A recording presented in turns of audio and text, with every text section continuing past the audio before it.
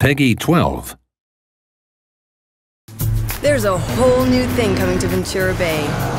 Hot rods. They're custom, they're low, they're awesome. Check it out.